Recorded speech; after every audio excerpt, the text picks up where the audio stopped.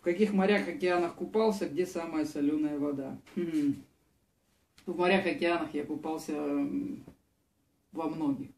Я купался в Черном море, в Балтийском, в Каспийском, в Средиземном, в Ионическом, в Мертвом, в Красном, в океанах, в Атлантическом, в Тихом, Индийском. Самое соленое, самый соленый океан, я знаю, это Атлантический считается. Но я вот чисто разницы не почувствовал абсолютно.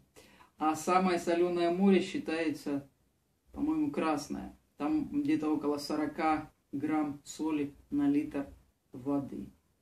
Тоже не почувствовал, да, Красное море достаточно такое чистое. И рыбки там самые, наверное, такие яркой окраски. А в остальном разницу в соли не очень почувствовал.